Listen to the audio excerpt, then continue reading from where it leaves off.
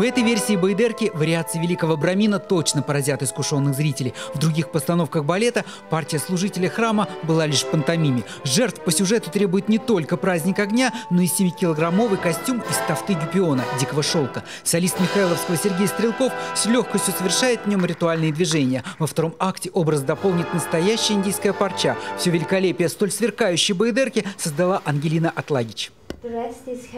Это очень логично. Если мы берем индийские лекала за основу, то и ткани должны соответствовать. Другие ткани сюда просто не подойдут. Кроме того, все это ручная работа. Особенно потрудились вот над этим головным убором золотого башка. Количество стразов, которое ушло только на костюм золотого башка, не поддается исчислению. Художнику даже пришлось придумывать, как уменьшить блеск камней в и без того искрящемся танце Джулиана Макея. Восточную роскошь в Байдерке каждый сценограф создавал, отдавая дань тенденциям своего времени. В Мариинском 2000-х э, даже возвращали оформление спектакля «Пятипа», в Михайловском буквально отразили сияние индийского дворца под лучом знойного солнца. При этом в сравнении с Болливудом не обойтись. Некоторые жесты дикого танца от и до придуманного на Дуата тоже ироничный взгляд хореографа на движение, так знакомый зрителям по индийским фильмам. Байдерка от Начи прежде всего в новом рисунке каждого танца двух первых актов. При этом он сохранил первоначальный порядок сцен Пятипа. Он оставил все на своих местах, но танцы действительно он сделал свои, сделал их, ну, на мой взгляд, интересные.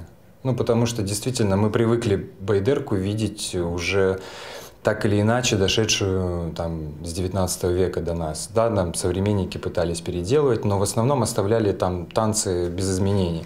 С Байдеркой связана легенда об исчезновении спектакля последнего акта «Гнева богов». Некоторые источники утверждают, что от него отказались после того, как в 1924 году во время наводнения в Ленинграде утонула часть декораций. В 1940 году в Кировском театре появилась версия Чебукиани Пономарева уже без четвертого акта. Сегодня именно эта интерпретация считается канонической, хотя попытки восстановить недостающую часть были. В 2002 на сцене Мариинки создали реконструкцию спектакля «Пятипа» со сцены «Гнева богов». Правда, тогда разгневали жаловались критики. И этого спектакля в репертуаре больше нет. На Западе Байдерку после побега из СССР ставила и Наталья Макарова. Хореографию Прима воскрешала по памяти. Она, как и другие балерины, однажды станцевав невероятно красивую партию Ники, не смогла с ней расстаться. Партия Ники для любой балерины это считается, наверное, одной из вершин а, мастерства и хореографического, и в первую очередь эмоционального, драматического мастерства. Потому что эту партию невозможно танцевать без внутренней наполненности.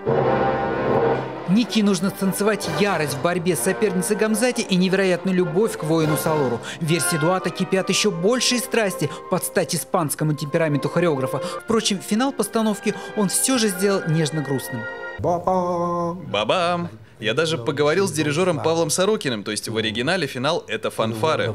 У Начи Дуата в самом конце вместо торжественных фанфар появилась нежная адажио, соответствующая сюжету. Ники уходит в мир мертвых, а Салор остается среди живых. Столь радикальных изменений в Баедерке не было никогда. Индийская легенда, впервые появившаяся в танце почти полтора века назад, словно получила новую сценическую жизнь, по блеску не уступающую настоящей во дворцах Раджей.